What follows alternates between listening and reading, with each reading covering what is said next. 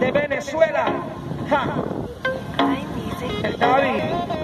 Desde pequeño me gustaba el campo, era un campo de fútbol. Me llamaba la atención la arquería para protegerla de un gol. En ese momento cuando estaba en el paisaje fue cuando comenzó la acción. Y ese deporte me gustaba tanto, ese deporte llamado fútbol.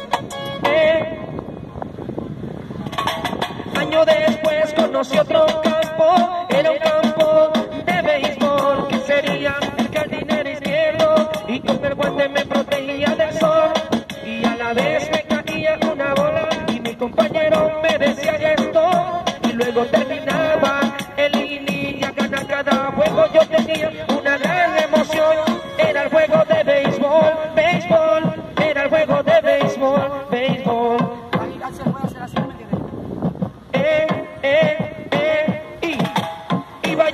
de mi casa y venía un ladrón.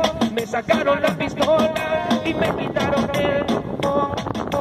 Era un momento de disparo y estaba yo en el patio y comenzó la balacera y casi me moría yo, yo, y casi me moría yo, yo. Eh, luego en ese momento apareció un señor y ese señor fue mandado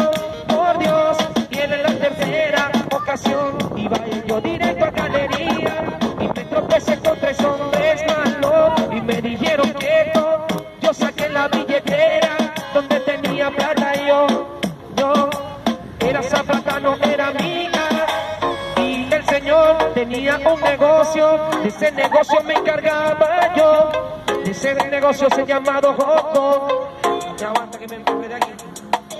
Un delicioso hot dog que lo preparaba yo. Y con mi mano lo hacía yo, lo hacía yo.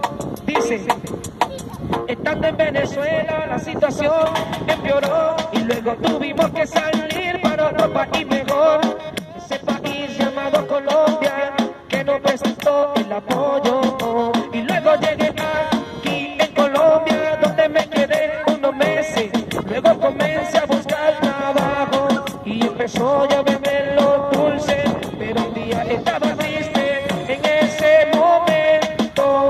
Estaba yo solo, conocí a un amigo, ese amigo se llamaba José. Comencé a trabajar con José y dejé de vender yo lo dulce y empecé a tener más amigos. Me llamaban Romé, fue donde mi vida comenzó y cambió. ¡Vamos! ¡Ay, ay, ay! ¡Guau, qué buena!